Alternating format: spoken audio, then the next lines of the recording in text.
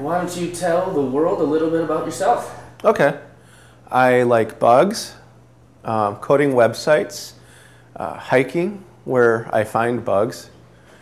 I like fossil collecting, nature photography, mostly pictures of bugs. I like recreational kayaking where I can find some really cool water bugs. Uh, camping where bugs are just everywhere. And I compose music on keyboard, mostly songs about bugs. A lot of these things I do with my wife Kelly, who's gradually becoming more comfortable with bugs. What's the deal with all the bugs? What? Everybody likes bugs. For example, uh, when Caitlin got married, I gave her a congratulatory bug. She loved it.